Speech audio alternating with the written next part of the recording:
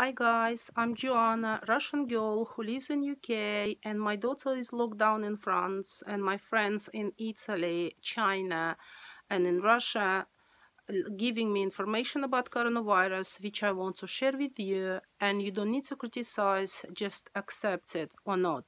And I will be happy if anything I say will help to even one person. The next question is, will Russia go by Chinese way, Chinese way or will go for by English or European way? The answer is, Russia will go by Chinese way. In situation like that, pandemic, people at the first stage, they don't take seriously what's happening.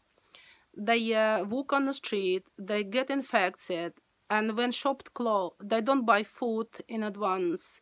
And when everything locked and closed shop closed and the country is locked down they only that moment they understand how it is serious.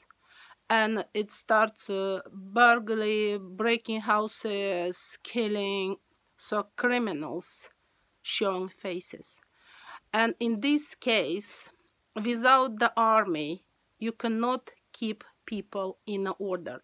That's what we see in, in China. And of course, Russia will use same way if it will be needed.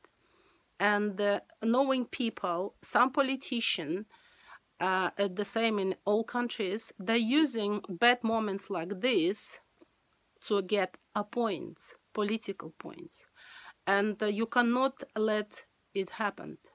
That's why if you want, if government and country wants to rid of it virus, only force, only military army, only police force can help to keep order in the country.